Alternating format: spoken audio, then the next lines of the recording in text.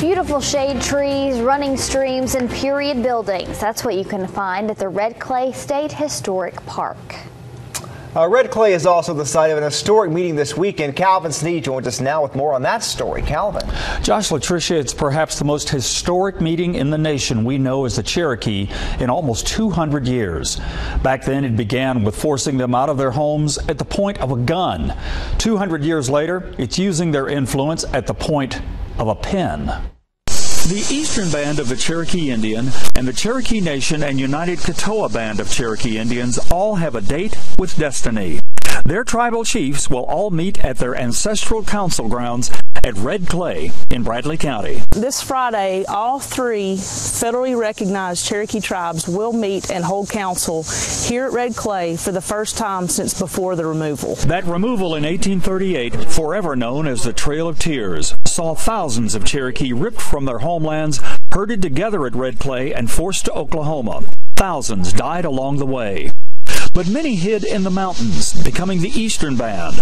The Cherokee Nation and the United Keetoowah Band lived in Oklahoma. They resisted, they persisted, and they persevered, and they're still here today, and they're thriving nations, and they're successful. Several reasons the tribal chiefs want to meet at Red Clay. Among them, this area's historic significance to the Cherokee and to educate folks about their culture. They're going to conduct business. They're going to have council meetings. They're going to uh, uh, discuss whatever issues are going on with the nation at this time. It begins on Friday with a ceremonial flag raising that will, for the first time, include the United Keetoowah Band.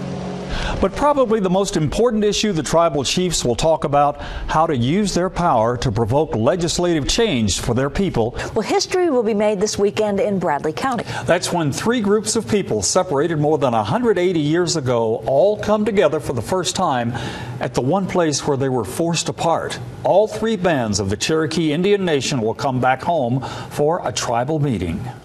Three tribes of Cherokee Indian, separated during the Trail of Tears, are about to be reunited at the one place where they were separated more than 180 years ago. It's huge, it's enormous because this will be the first time that they all come back as one nation in their homelands. Visitors are invited to come and join the three bands of Native Americans at their council and learn about the Cherokee.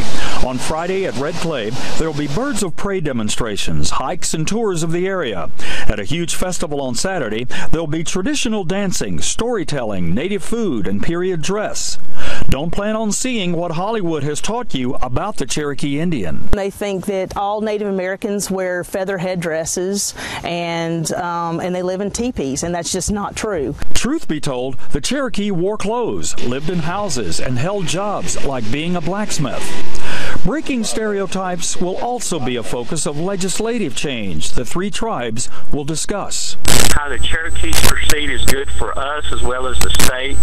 We look at partnering with our communities and the state now, and and we're part of this United States, and, and we and we want to work together in today's time. If you'd like to attend the Cherokee Council as a visitor, just click on this story at newschannel9.com and we'll give you directions to the Red Clay State Historic Park.